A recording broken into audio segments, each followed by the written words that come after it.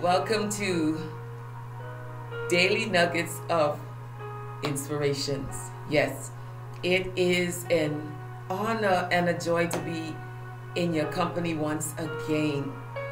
Dappy T Keys Piano Ministry is ministering in the background, and I just like to say that Dappy T Keys Piano Ministry is a wonderful gift to the body of Christ.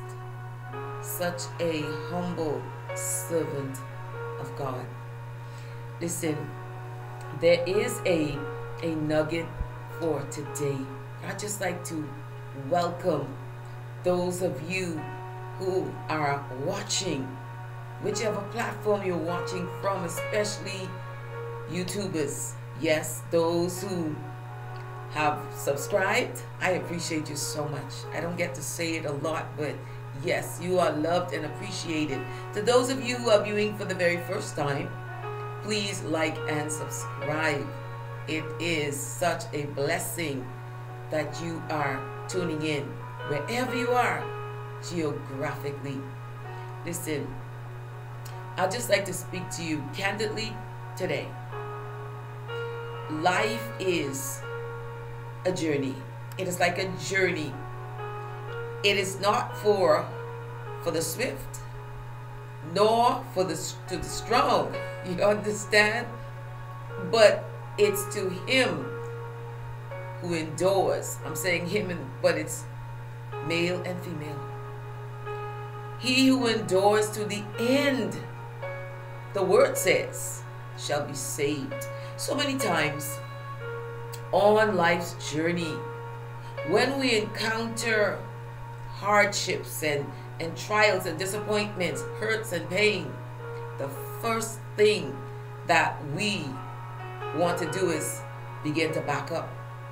We try all that we can to, to reach for what was, to be in that place of, of comfort but can I tell you, and I'm speaking to you, I'm speaking to me first, the place of comfort would cause you to become relaxed and at ease. But the trials, the disappointments, the heartaches, you name it, those things, believe it or not, they come to perfect us. To perfect, God uses those things. He doesn't put those things on us because his word says that all things work together for good to them that love God, to them who are the called according to his purpose. And you are called from your mother's womb. You were called by God. Yes, um, to be honest, we all fall down. We all fail. But in the midst of failure and in falling down, get up we must get up and finish this race finish strong. And and that that's that's the nugget the nugget for today. Finish strong. Finish strong. All those instructions that God has given to you the dreams he has revealed to you don't give up on those dreams. Don't give up on those instructions. Begin today, right where you are, to continue the journey. Yes, do not wallow in defeat and failure. Listen, past mistakes are gone. We cannot undo what is already done. But you have today.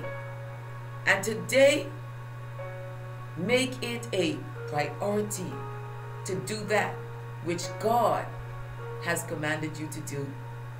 Do it with excellence. Do it with grace and in the strength of the Lord.